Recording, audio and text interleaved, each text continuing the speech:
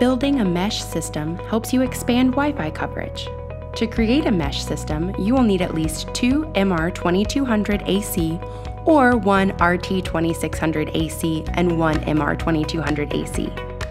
In this demo, we're going to use an RT2600 AC as our main router with two MR2200 AC as Wi-Fi points to set up a mesh system. Before you start, install DS Router in Google Play or the iOS App Store. You should put Wi-Fi points together while setting them up. Make sure all routers are powered on, connect your mobile device to your RT2600 AC first.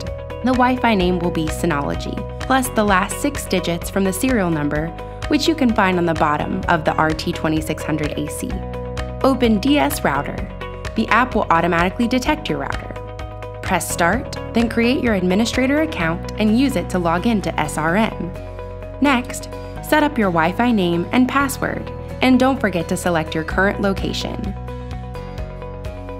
You can set up point to point protocol over Ethernet or PPPoE here if necessary. Contact your ISP if you're not sure. Review the agreements, then press Agree.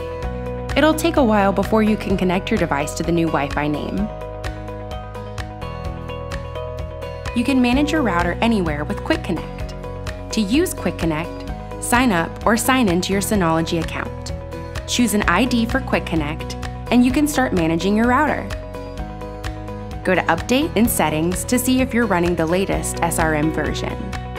Now it's time to set up the mesh system. Make sure your mesh routers are powered on and the LED indicator turns to a blinking blue light. Go to Wi-Fi point, press Add Now. Follow the instructions. The app will automatically find the nearby mesh routers. Select your mesh routers and press Next.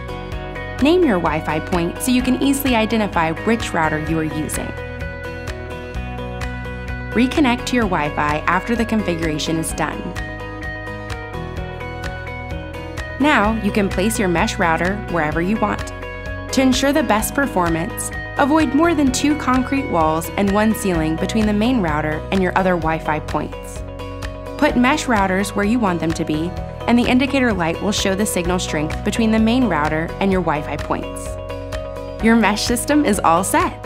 You can experience high-speed internet connection all around your home without any dead zones. To find out more about mesh routers, visit the link in the description.